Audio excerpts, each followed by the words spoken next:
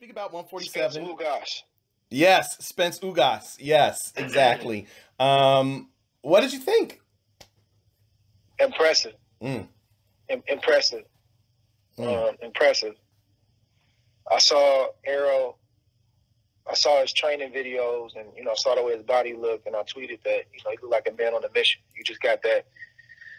You can tell when a fighter is just training, and when they're training with a sense of urgency, and uh, you know he, he had a sense of urgency about him Mm. in, in his training, and, and a sense of urgency with his focus.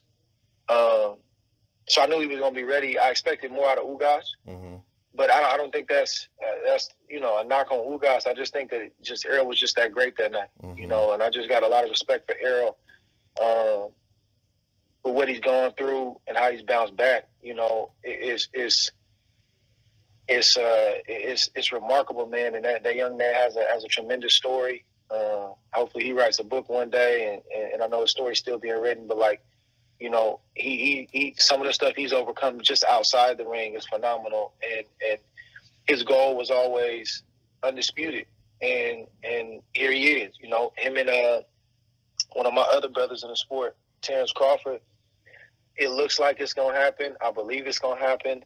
And um this is what we need in boxing, but this is what both of these fighters need for their legacy. They both had great careers, but but this takes them to a different stratosphere, the winner of that fight Mm. and you know I don't get involved in their politics. And when I say politics, I mean the boxing beef and and the back and forth. I don't touch that. I stay out the way. I know my lane. When I talk to Errol, I talk to Errol about Errol. We talk. When I talk to uh, Terence, I talk to Terence about Terence. I don't never get involved in man. This is how you beat this one. This is how you beat that one. I don't get involved, and I stay out the politics. But I love them both. I wish they both could, could win the fight. Bar up draw. That's not gonna happen. Hmm. You know, I, even a draw, you didn't win. So, like, I wish they both could win the fight, but that's not that's not possible. But I just appreciate how these young men have carried themselves, man, and uh, just how they went about their business. And you know, boxing is a is a is a very difficult sport, bro. Like, and I'm not just talking about the punches. I'm talking about the business, the media, the temptations, the you know, the the fight to stay focused, all of that stuff Mm. all of that stuff. And and and here they are. You know, they're, they're setting their families up for life, and uh, they're they're on the they're on the the precipice of of, of an all time great welterweight fight. And what I know about both of those guys, neither dude is gonna be turned around easily. Mm. Neither dude is gonna be turned away easily. So they both gonna have to go to go through fire to get it done. And I just can't wait. I just can't wait. Mm. Well, I, I just can't wait. It, I mean, I, I I think all of us agree. I mean, none of us can't wait for that fight. Um, doesn't sound like anyone's going to be getting a breakdown from you regarding that particular fight. Um, but just like when you like when you imagine that fight, are are there any other fights in the past you could kind of I don't want to say compare them to, but just kind of um, you know describe how it might play out i guess so to speak like is this like a a, a leonard hearns type of fight um you know is this gonna be Absolutely. okay okay Not not not necessarily stylistically, but, Right. but in terms of the magnitude and absolutely. Mhm, Yeah. Yeah. mhm. Yeah. Yeah. i just and um you know, I'm gonna say this like and both fighters know this already. mhm, Neither fighter has ever fought a fighter like the other. EJ has never fought a Terence Crawford. And Terence Crawford has never fought an Errol Spence. Hmm. And as much experience as they have, they don't have any experience fighting fighting any fighter like the other.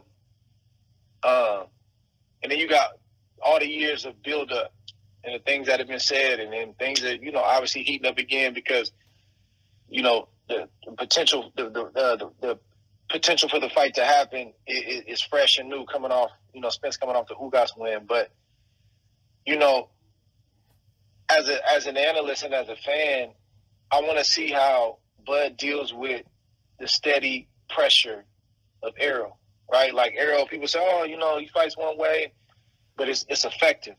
and and it's a reason why he's breaking down and beating a lot of great dudes, and why he has the resume that he has. Mm-hmm. And I want to see how Terence Crawford deals with the physical strength of Errol Spence. I want to see how Terence Crawford deals with the southpaw style of Errol Spence, the body punching from Errol Spence, because Errol's gonna go downstairs, and when you get hit into the body, you ain't got to go down, but it's still affecting, and it and it shows up midway through the fight, late in the fight, and that's gonna be a, a, a grueling fight. So so everything is gonna count, everything is gonna matter, right? I want to see how Terence Crawford deals with the power of Errol Spence, and the other side of the coin is I want to see how Errol Spence deals with the reach of Terence Crawford. Terence Crawford, his arms are extremely long. Me and him shadow box, we play, and sometimes he'll get something close to my face, and I'm like, bro, how you reach that?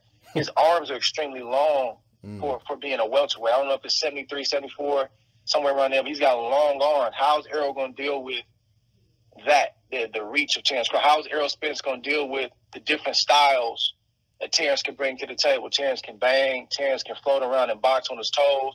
Terence can fight off the jab, and, and Errol can too. But I'm just I'm just talking about um, Terence right now. Mm-hmm. How, how is Errol going to deal with the power from Terence Crawford when he gets hit on the chin for the first time? How, what's going to be his response? Mm-hmm. So I can go back and forth all day about what either fighter brings to the table, and we just don't know. We can speculate, but we don't know. They got to get in the ring, and we got to see it unfold. And I'm telling you, that's going to be an all-time great welterweight fight. And and I and I believe, and I don't know how they're gonna work it, but I believe that there should be a rematch clause for both fighters. So I, I, I believe we, we should be on the hook for at least two fights with these two fighters. Mm. I can't see a scenario where it's a one and done for one guy and, and, and the other guy has um, a rematch clause. I think they both should have one. So we're probably on the hook for a two fight deal at least. Mm, I cannot wait. And that is probably the closest we will get to a breakdown of that fight from Hall of Famer Andre Ward. I will take that. I will take that.